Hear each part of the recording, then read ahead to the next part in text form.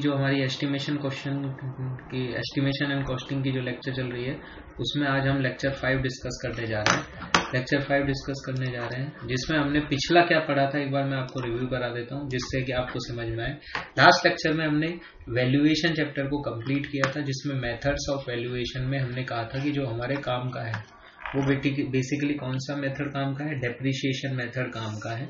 जहाँ पर डेप्रिशिएशन के कारण डायरेक्ट जो वैल्यू आती है डेप्रिशिएटेड वैल्यू आती है वो हमारे पास जो भी उस समय की जो कॉस्ट थी मार्केट रेट की कॉस्ट थी वो और ये फिक्स्ड रेट ऑफ़ डेप्रिशिएशन है जो कि 100 साल की बिल्डिंग के लिए एक माना जाता है पचहत्तर से 100 साल के, के लिए ठीक है? इसके बाद अलग अलग कोफिशियंट थे, जैसे 50 से पचहत्तर में 1.3 और ये ऑब्जेक्टिव में पार्ट भी है, मैंने आपको बताया भी था ये चीज़ आपको।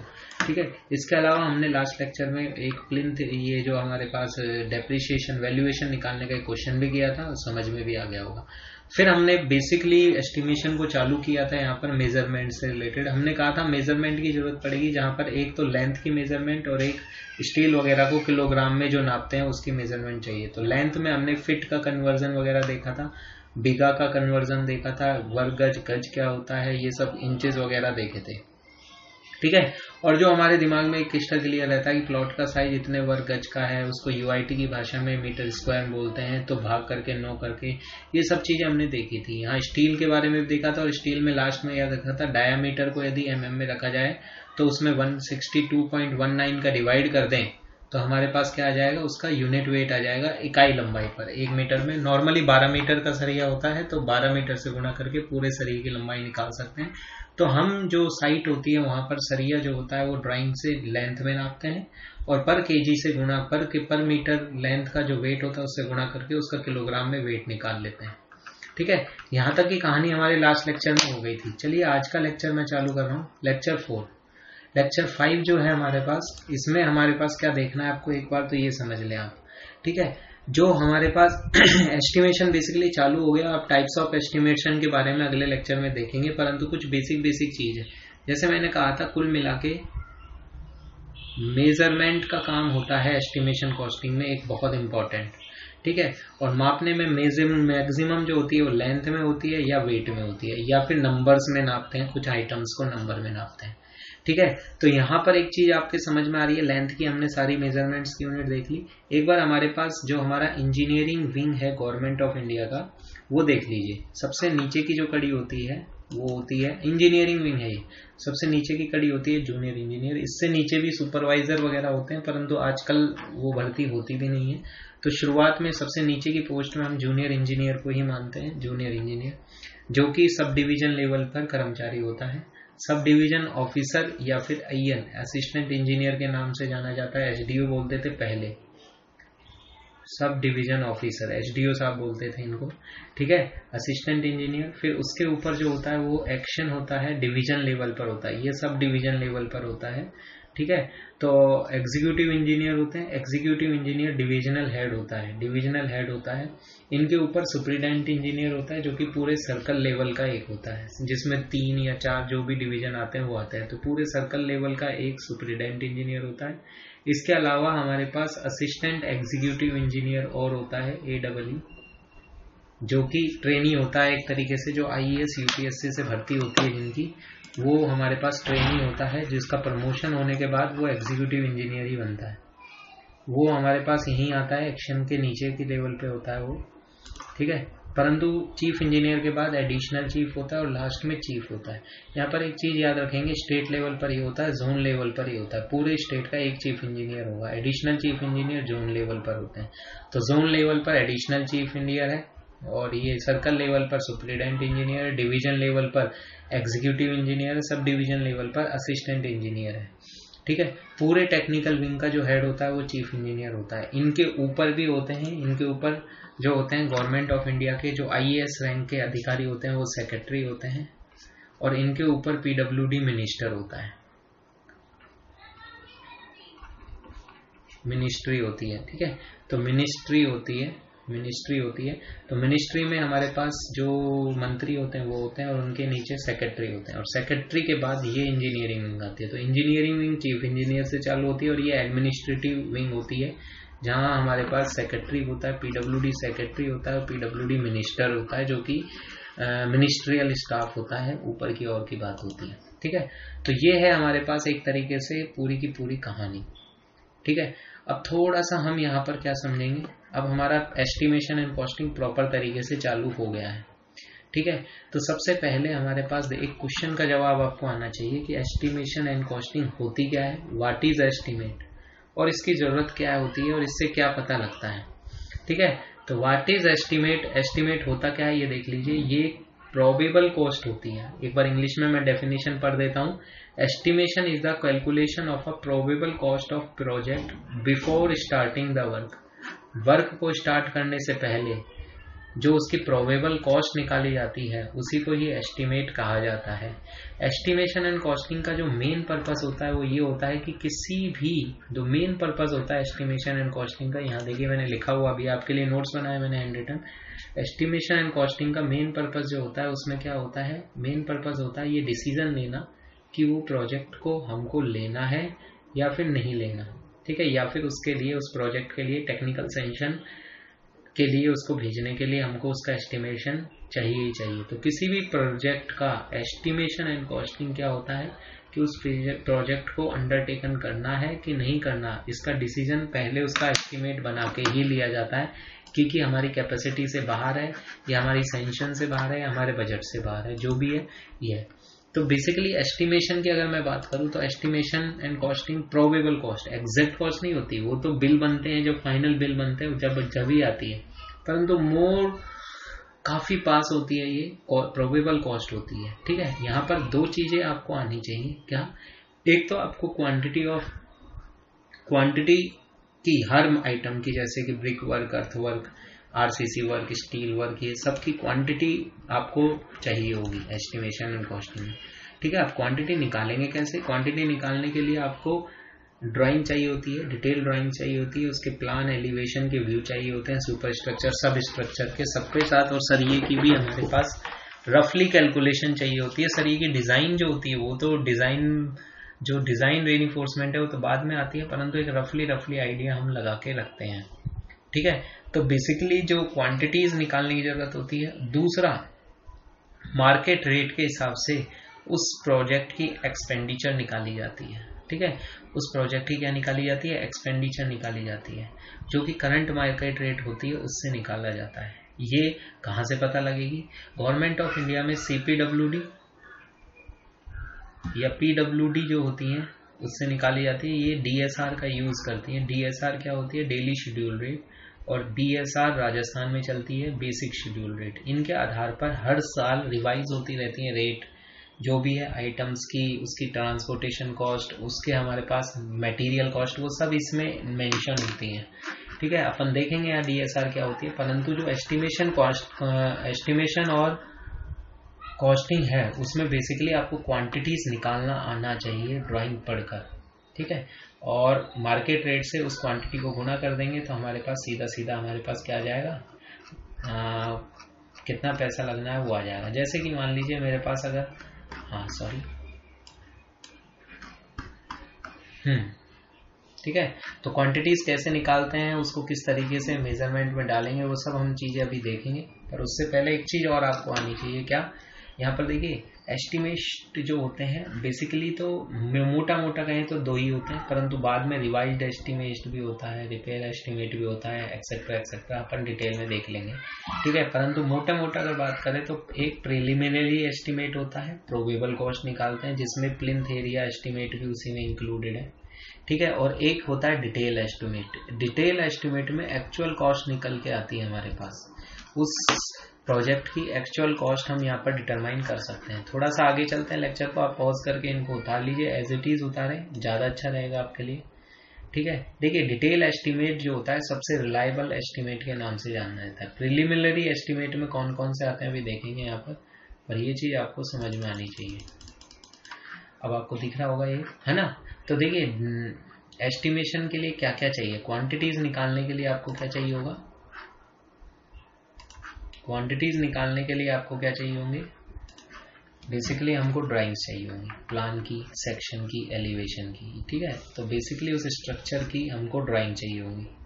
दूसरा स्पेसिफिकेशन चाहिए होगा रेट्स निकालने के लिए कि भैया जनरल स्पेसिफिकेशन जहाँ पर दो तरह के स्पेसिफिकेशन होते हैं डिटेल स्पेसिफिकेशन और एक जर्नल स्पेसिफिकेशन यहाँ पर मटेरियल के बारे में रफ आइडिया दिया जाता है, जबकि यहाँ पर हर आइटम का कि उसमें मटेरियल कॉस्ट कितनी है, उसमें लेबर कॉस्ट कितनी लगेगी ट्रांसपोर्टेशन कॉस्ट कितनी लगेगी डिटेल्ड में बताया गया होता है डिटेल स्पेसिफिकेशन होते हैं. तो दूसरा हमको काम किस तरीके से होता है, उसका स्पेसिफिकेशन पता होना चाहिए. एज पर इंजीनियरिंग स्पेसिफिकेशन वो काम किस तरीके से होता है? ऐसे ही डीएसआर में भी specification volume first second Delhi DSR के आते हैं, जिनमें हर एक वर्क को किस तरीके से परफॉर्म करना है साइट में, वो यहाँ पर लिखा होता है स्पेसिफिकेशन ठीक है? तो हर वर्क का स्पेसिफिकेशन हमको पता होना चाहिए। फिर रेट का आइडिया होना चाहिए, जैसे बेसिक शेड्यूल रेट में रेट का आइडिया दिया जाता है, उसमें सारी रेटें इंक्लूड करके रखी जाती हैं। ठीक है?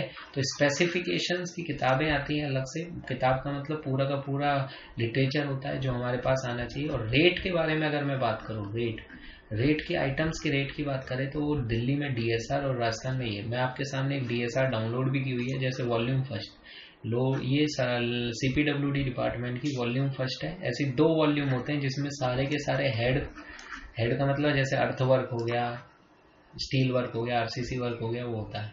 है ये 2018 के आधार पर है। अब तो 2020 चल रहा है हमारे पास तो रिवाइज हो गई होगी। परंतु मेरे को नेट पर यही मिली तो मैंने आपके पास देखिए, यहाँ पर देखिए, एक बार मैं डीएसआर का हल्का सा आपको एक चीज़ दिखा देता हूँ, जिससे कि आपको ये चीज़ समझ में आए। सपोज़ करो कि जैसे ये सब हेड मोर्टार है।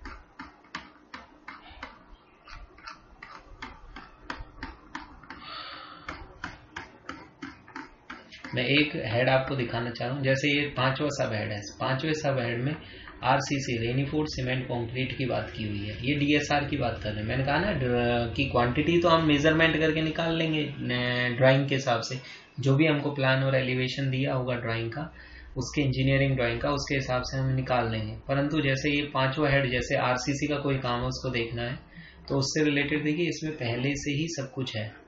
कि जो कंक्रीट मिक्सचर होता है, जैसे ये कंक्रीट मिक्सचर होता है, उसमें भी होपर के साथ विदाउट होपर तो अलाउ ही नहीं है। एक देखा उसका जो किराया लगेगा, वो हायरिंग चार्ज होगा, वो कितना होगा? आठ सौ रुपया होगा। ठीक है? तो इस तरीके से हर चीज़ का आपके पास बिस्ती कितना लगेगा? बेलदार की पर डे की कीमत पाँच हज़ार, वो पाँच सौ अट्ठावन रुपए मिलेगी। कूली को भी पाँच सौ अट्ठावन रुपए मिलेंगे। मिस्त्री को कितने मिलना है, ये पूरा डिसाइडेड होता है ऑलरेडी ठीक है? तो गवर्नमेंट ऑफ़ इंडिया के जो भी पेमेंट होते हैं डिसाइडेड होते हैं, ठीक है? अब यहाँ पर देखिए, ये तो सब आइटम्स की रेट दी हुई है, जैसे रेनिफोर्समेंट कॉन्क्रीट का ये पांचवा हेड है।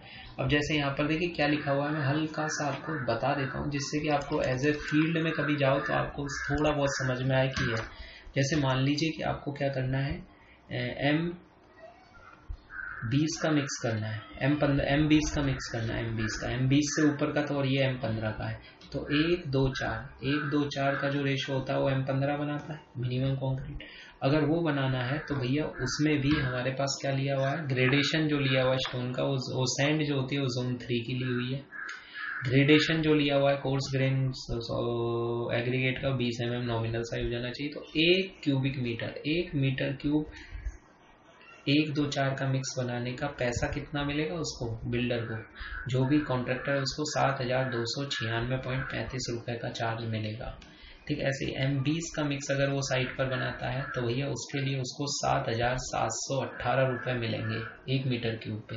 तो इस तरीके से देखिए, पाँच पॉइंट एट में काट मतलब साइट पर जो बना हुआ है उसके लिए। ठीक है, इसी तरीके से मैं एक और हेड आपको पढ़ना सिखा दूँ हल्का सा, जिससे कि आपको ये समझ में आए कि डीएसआर बेसिकली है क्या चीज़। ठीक है? जैसे यहाँ पर एक डेढ़ चीन का दिया गया है वर्क इन वॉल अगर ये तो कहाँ हुआ है?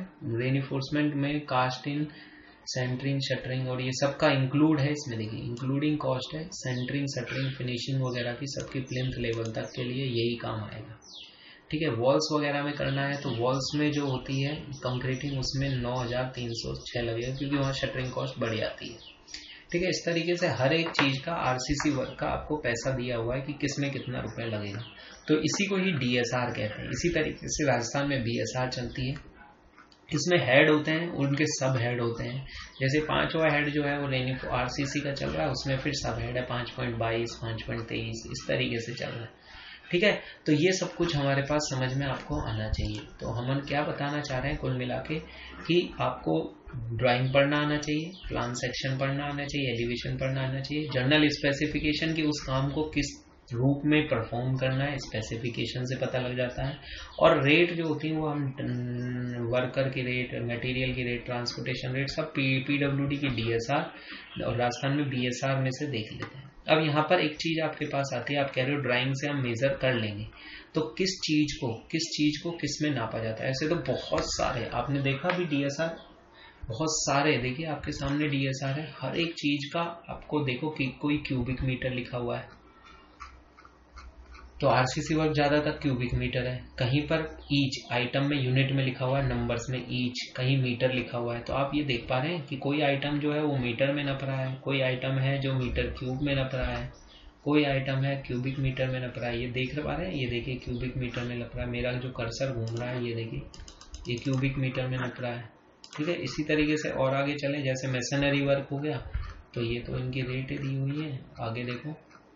क्यूबिक मीटर में है कहीं स्क्वायर मीटर में। है यानी कि कोई ना कोई क्वांटिटी कभी क्यूबिक मीटर में नपती है, कोई स्क्वायर मीटर में नपती है। तो आपको एक जनरल आइडिया होना चाहिए कि कौन सी चीज़, जैसे आपको मान लो दीवार का प्लास्टर नापना है तो मीटर स्क्वायर में नपेगा।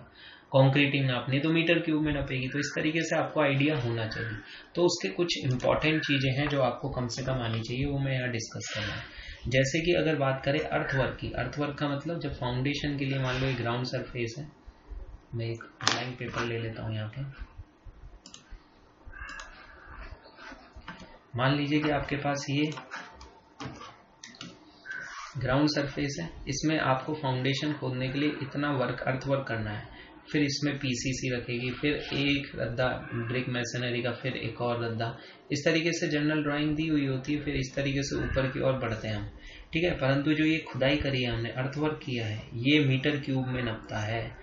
ठीक है, यही मैं यहाँ पर बताना चाह रहा हूँ आपको कि हमारे पास जो ये चीज़ है, ये metre cube earthwork in excavation चाहे वो हार्ड रॉक हो रॉक पर हो, चाहे ऑर्डिनरी सॉइल पर हो मशीन से हो, चाहे हाथों से हो, जेसीबी से हो या हो, ये किसमें नपता है? अर्थवर्क इन एक्सवेशन किसमें नपता है? मीटर क्यूब में नपता है। ठीक है, दूसरा, फिर फिलिंग होती है। मान लो इस चीज़ को फिलिंग करनी पड़ेगी, बाद में इस खाली जगह को मिट्टी से फिलिंग करेंगे तो फिलिंग जो होती है, वो भी मीटर क्यूब में नपती है। पर यहाँ पर एक चीज़ है। अगर आप केवल और केवल क्या कर रहे हो? खुदाई कर रहे हो छोटे मोटे गड्ढों को भरने के लिए और वो गड्ढा इतना छोटा है कि उसकी डेप्थ 30 सेंटीमीटर से ज़्यादा नहीं है। तो अगर 30 सेंटीमीटर से ज़्यादा गहराई का अर्थवर्क नहीं है तो उसमें मीटर स्क्वायर में नपेगा। ये चीज़ आप नोट करेंगे, देखिए मीटर स्क्वायर में नपेगा। ठीक है? और इसी तरीके से ऊपर से घास हटानी है सरफेस ड्रेसिंग छोटा मोटा लेवलिंग करनी है तो वो भी मीटर स्क्वायर में नपेगा।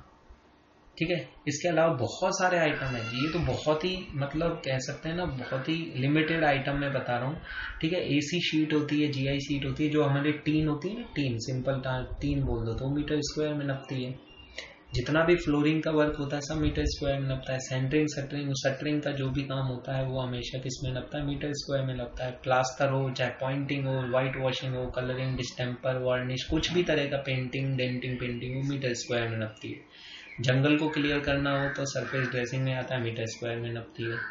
ठीक है? इसी तरीके से इलेक्ट्रिक वर्क जो होता है, वो पॉइंटों पर नपता है। पॉइंटों के हिसाब से होता है कि कौन कौन सा आइटम लगना कॉर्नाइस वर्क जो होता है रनिंग मीटर में होता है। कॉर्नाइस स्टोन आपको पता है, जो दीवार होती है पैरापिट वॉल होती है, उसके ऊपर पानी की वजह से खराब ना हो तो ऊपर एक स्टोन रखा जाता है कॉर्निस स्टोन होता है। ठीक है? तो इस कॉर्निस को हमारे पास कभी भी स्क्वायर मीटर में नहीं नापते रनिंग मीटर में नापते हैं मीटर में नापते। हैं इंपॉर्टेंट है याद करना। सोलिंग क्या होती है? फर्श के नीचे जो भराव किया जाता है। जो फर्श होती है, उसके नीचे जो ब्रिक ब्लास्ट या फिर छोटे मोटे ब्लास्ट वगैरह को भर भर के इसको कूटा जाता है, उसको सोलिंग बोलते हैं। सोलिंग मीटर क्यूब में लगती है। ठीक है? तो इस तरीके से आपको आना चाहिए। कुछ चीज़ें इंपॉर्टेंट है।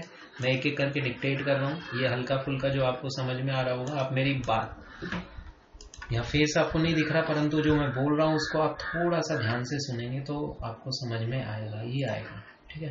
इसी तरीके से ब्रिक वर्क जो होता है, ये इंपॉर्टेंट है। जैसे मोटी दीवार होती है, नौ इंची की दीवार होती है 230 एम एम, दो एम की जो दीवार होती है, वो मीटर क्यूब में लगती है, ठीक है? आर्चेज में जो आर्च बनता है, उसमें जो ब्रिक मेसनरी होती है, वो मीटर क्यूब में लगती है। आरसीसी ब्रिक होती है, वो मीटर क्यूब में लगती है, परंतु जो आधा इंची की वॉल होती है, मीटर स्क्वायर में लगती है।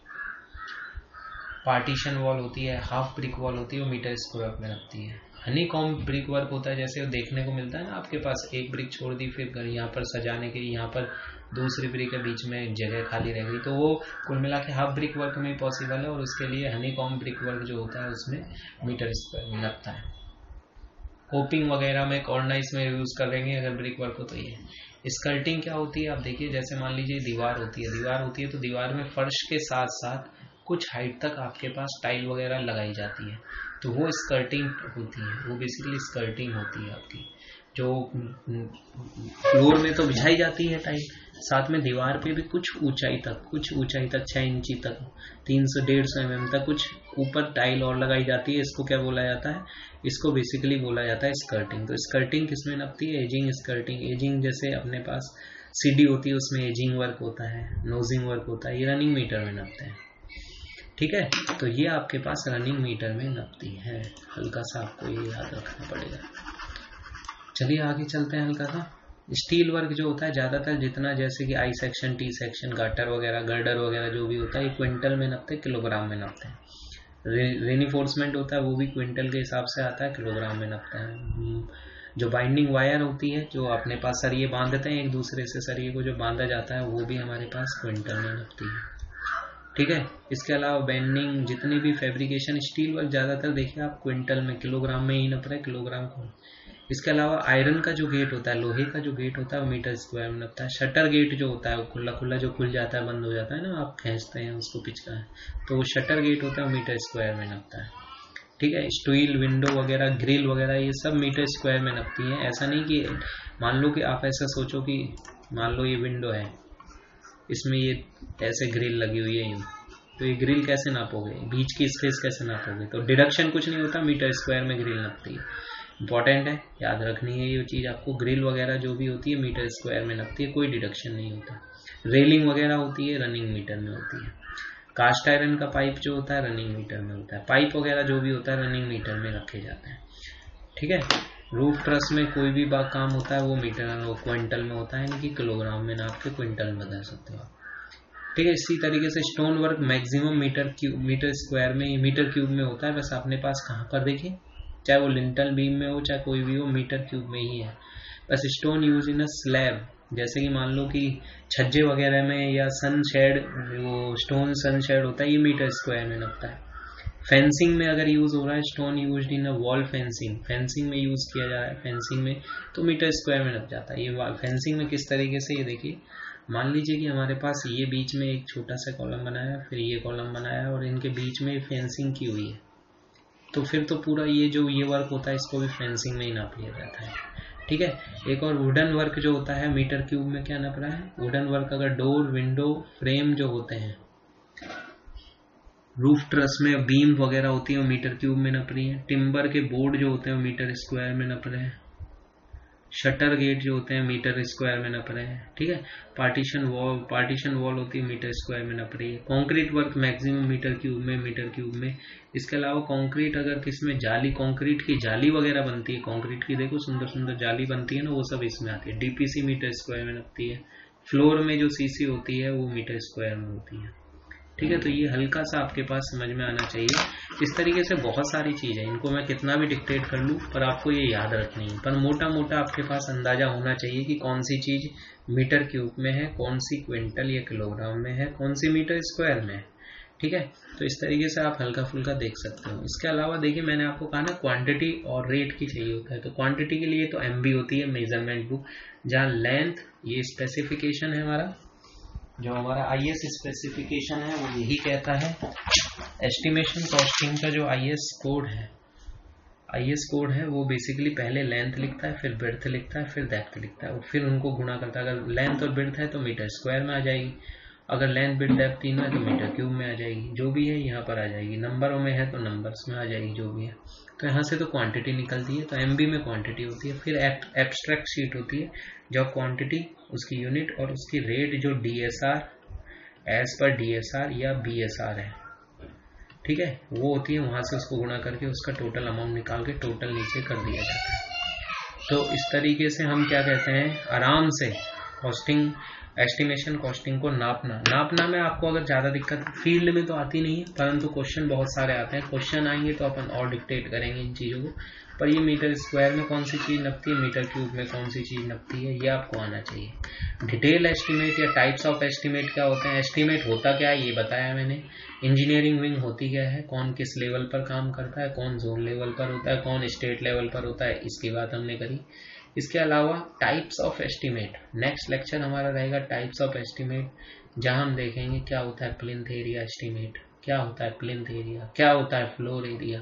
ठीक है, इसके बाद हम short wall, long wall method से मेज़रमेंट के बारे में देखेंगे आगे। ठीक है तो ये था ओवरऑल आज का लेक्चर आपसे उम्मीद करता हूँ कि आप इस लेक्चर को ज़्यादा से ज़्यादा शेयर करेंगे। जिस जिस बच्चे को ये पीडीएफ चाहिए होगी जो मैंने अभी आपके सामने बनाई है तो मैं उसको व्हाट्सअप कर दूँगा। परंतु एक शर्त है कि आप अपने दस दोस्तों को स्क्रीन दस दोस्तों को ये लेक्चर वीडियो जो है वो शेयर करेंगे। कम से कम दस का। और उसका स्क्रीनशॉट खींच के मेरे पास भेज देंगे तो मैं तुरंत ही आपको इसकी पीडीएफ भेज दूँगा। पीडीएफ में पासवर्ड होगा, जो केवल आपके लिए यूनिक होगा, वो आप खोल पाएँगे, कोई दिक्कत नहीं कुछ नहीं करना, आपको केवल दस दोस्तों पे, एक से लेकर दस दोस्तों को भेजना है, और जो भेजे हुए हैं वीडियो उसका स्क्रीनशॉट भेजना है। इसके साथ ही सिविल वॉर ऐप पर, आज की डेट में बता देता हूँ, एक अप्रैल 2020 है। तो कल की डेट से सोम का टेस्ट है आठ बजे से। आठ से नौ बजे के बीच में दो टेस्ट हैं, level first, level second, stress strain का।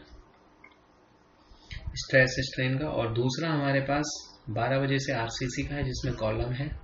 और तीन बजे राजस्थान जीके का भौगोलिक स्थिति वाला पार्ट फ़र्स्ट का टेस्ट है।